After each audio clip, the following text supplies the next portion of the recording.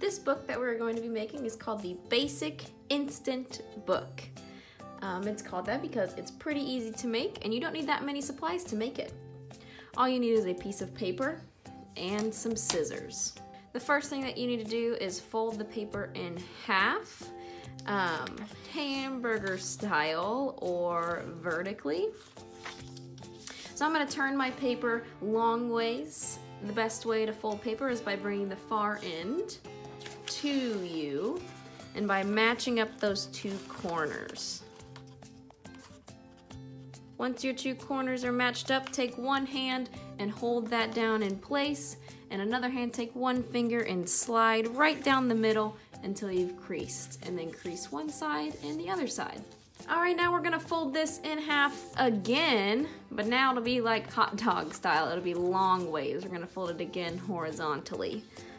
So bring the far end to you, match up the two corners, Hold down with one hand and then with one finger slide down the middle, crease one side and crease the other side. Now our book is in four long quarters.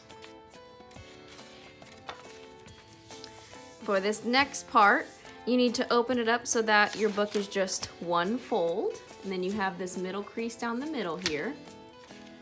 Now we need to fold our book again horizontally. So take the long end, bring it to you,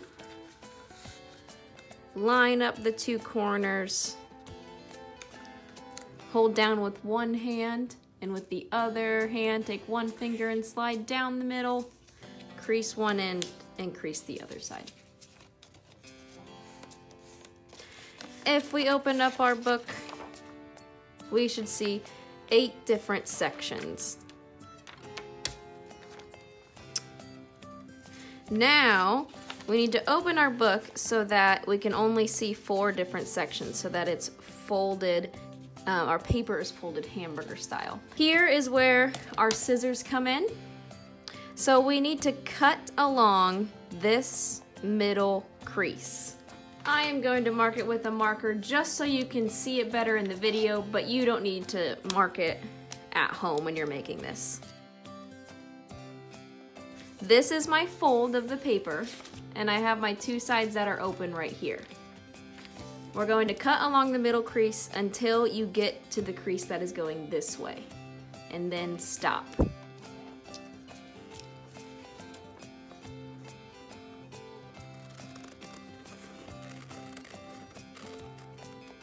All right, that's it. I have cut just to my middle crease, and now you've got this opening in the middle of your book. So open up your paper and lay it flat on your table so that this middle crease is up and it's like a mountain. Then, to make this book, you pinch one side where the cut is the left side, and then you pinch the right side, and then you open up that crease and put it together.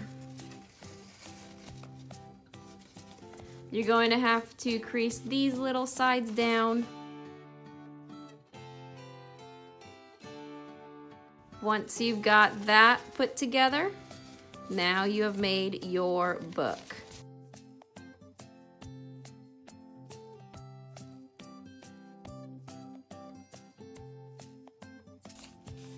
Now I have a book. And you can add anything you like to these pages.